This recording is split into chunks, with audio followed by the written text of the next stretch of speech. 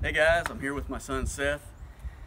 We're going to talk about uh, when somebody grabs you by the wrist or grabs you by the shoulder or the front of the shirt, something of that matter. First is the, uh, the wrist grab. Again, if I, my opponent gets this close to me, I'm not managing distance very well. If I feel like a threat is happening, I want to back up and get my hands up. If he gets too close, I want to immediately get inside and get the clinch. That way I have the option of disengaging or taking my opponent to the ground. So the first thing is I'm standing here. He may come up to, you know, beside me and grab my wrist like this. First thing I want to do, if he tries to pull me somewhere, I want to get my base to where I don't lose my balance and fall down. My other hand is up, protecting myself because I'm not so much worried about him grabbing my wrist. I'm worried about him punching me in the face. So I'm here to make sure, you know, I can protect my face from the punch.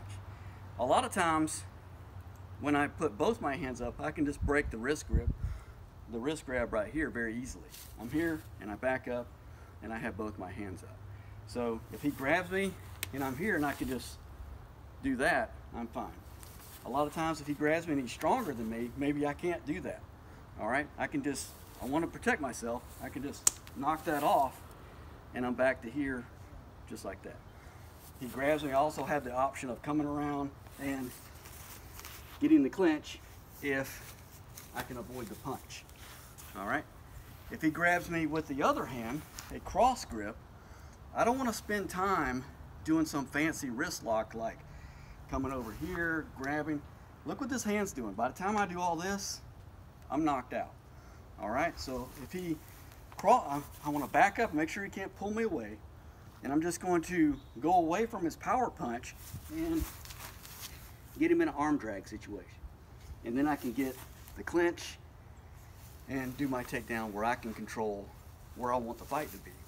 So he grabs me cross, hands up, turn in, arm drag, get the clinch. If he grabs me with both hands, again, I want to get my base, my hands up, but the good news is he's grabbing me with both hands so I don't have to worry too much about a punch. So I also have punches available to me. If I want to, I can punch him. After I punch him, I can just reach in and grab, and I got my hands up. All right, so he grabs. It's another thing. When you're practicing, don't offer your hand to your opponent to make it easy for them. You're not gonna do that in real life. So you're standing here and make it realistic. Here, punch, reach in, and defend. If someone just grabs you by the shoulder like this, a lot of instructors show where you come around and come up and break the elbow like this. That's fine, that works, but what you have to worry about is the other hand. Again, so someone grabs me by the shoulder, I'm just immediately gonna put my hands up. But if I come here, before I can do anything, he's already punching me.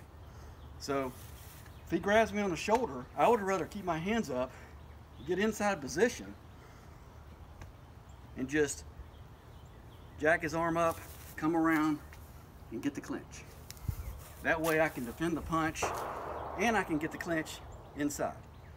So he grabs, I'm here, I get position, up. Come in and get the clinch. All right.